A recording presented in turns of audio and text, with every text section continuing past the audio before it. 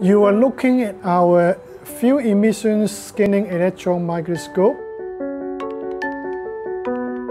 It is a Hitachi SU70 system. It is one of the best scanning electron microscopes. The system allows us to do imaging, structure analysis, and compositional analysis the magnification can be a few hundred thousand times, allowing us to see features of a few tens of nanometers quite clearly. Today, I'm using the system to look at the surface features of titanium 6-4 alloys made using selective laser melting technology.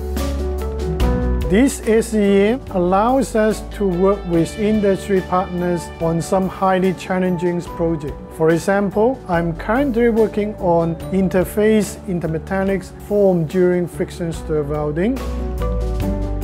At AUT, a large part of our research is highly relevant to New Zealand industry. If you are interested in working with us or if we can provide technical service, please contact Mr. Patrick Corner or myself.